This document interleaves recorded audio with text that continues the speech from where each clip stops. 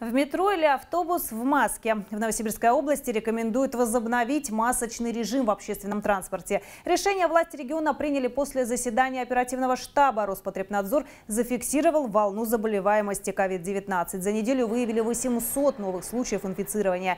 Болеют как взрослые, так и дети. Специалисты опасаются вспышки в конце лета, когда люди вернутся с отпусков и каникул. Также маски желательны для работников учреждений культуры и сферы торговли. Помимо прочего, в регионе регионе активизируют вакцинацию и ревакцинацию среди школьников, студентов, педагогов и других сотрудников образовательных учреждений.